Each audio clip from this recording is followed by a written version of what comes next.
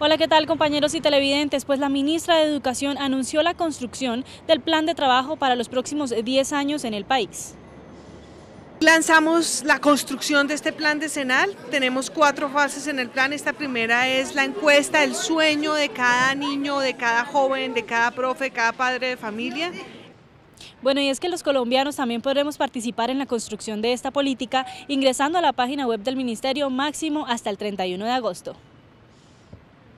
Tenemos, gracias a la Universidad Nacional y a nuestro Centro de Innovación Educativa, un equipo humano también en el Centro de Atención Virtual pedagógico que está atendiendo y que está monitoreando permanentemente todo lo que las personas, los ciudadanos colombianos están votando en la plataforma y en las diferentes redes sociales que hemos habilitado.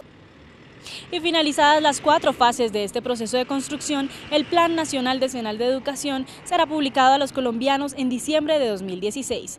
Desde Bogotá informó Paula Osorio.